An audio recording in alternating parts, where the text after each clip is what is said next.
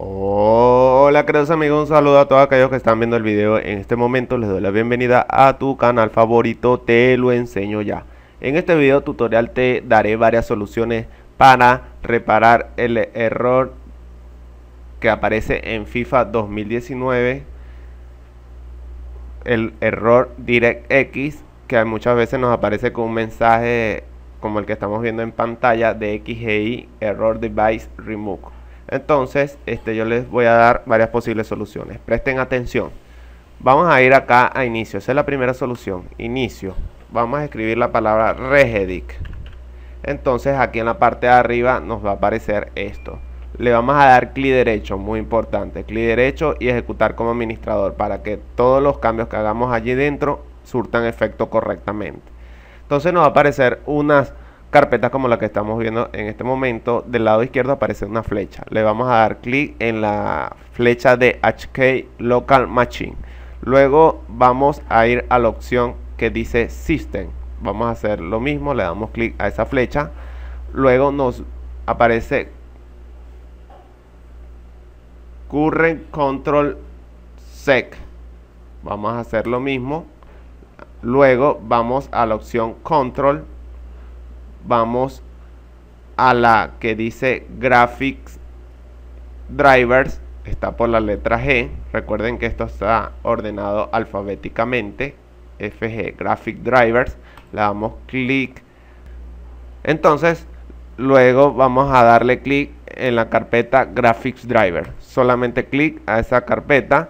Le damos clic derecho. Luego vamos a darle la opción que dice Nuevo seleccionamos el valor de word 32 bits ok the word 32 bits para el caso de las computadoras de 32 bits. Para la de 64 bits también podemos hacer lo mismo ya que las computadoras de 64 bits este arrancan todo lo que sea de 32 bits ok entonces este en el nuevo valor lo vamos a borrar y le vamos a colocar el siguiente nombre. T mayúscula, muy importante, T mayúscula, D minúscula, R minúscula, L mayúscula y de resto minúscula. TDR level. Le damos enter, entonces vamos a proceder a darle doble clic aquí en información de valor. Le vamos a colocar el número 0, aceptar, reiniciamos la computadora y observamos para ver si el problema se ha solucionado. Si en dado caso no llega a servir de esta manera, te recomiendo buscar a ver si tienes un archivo corrupto o dañado en tu computadora. Vamos a ir a inicio, ¿ok? Escribimos la palabra CMD en el buscador de Windows, ¿ok? CMD. Entonces nos va a aparecer esta opción acá arriba. Le vamos a dar clic derecho, ejecutar como administrador. Acá vamos a colocar el siguiente comando. sfc barra espaciadora scan now. ¿Ok? Scan now. Le vamos a dar en enter.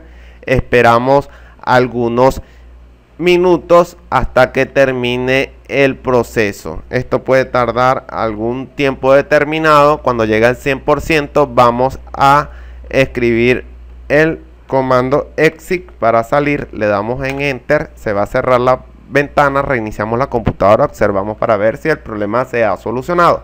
Si en dado caso no llega a servir con esa solución, yo les recomiendo ir acá a inicio, luego vamos en el buscador de Windows, vamos a escribir la palabra DXDiac, le vamos a dar en Enter, ok.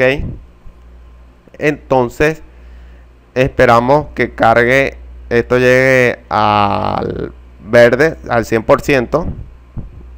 Ok. Entonces, en la parte de la pantalla vamos a ver qué versión de DirectX tenemos instalada. Ok. Aquí revisamos. Está la, yo les recomiendo la Direct 11 o el Direct 12. Si tienes, por ejemplo, el Direct 12, desinstálalo e instala la DirectX, ¿ok?